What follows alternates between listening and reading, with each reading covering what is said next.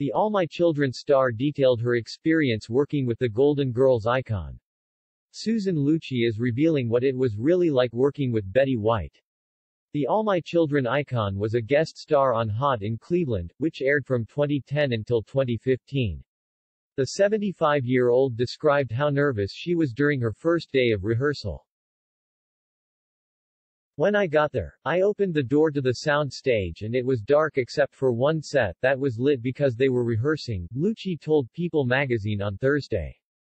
I stood there by the door because I didn't want to make any movement to possibly interrupt the rehearsing. I didn't want to be in any of the actors' sight lines, so I was just kind of hanging by the door. All of a sudden Betty White, who I had never met, but admired so much, of course, from Golden Girls, and everything else, just like everybody else, called out to me in a stage whisper. Susan, Susan, come sit next to me, and she patted the director's chair next to her, the actress shared.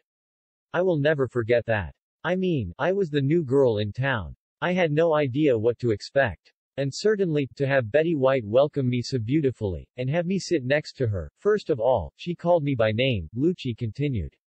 That Betty White knew my name was amazing to me. And she was just delightful as that moment, all the way through.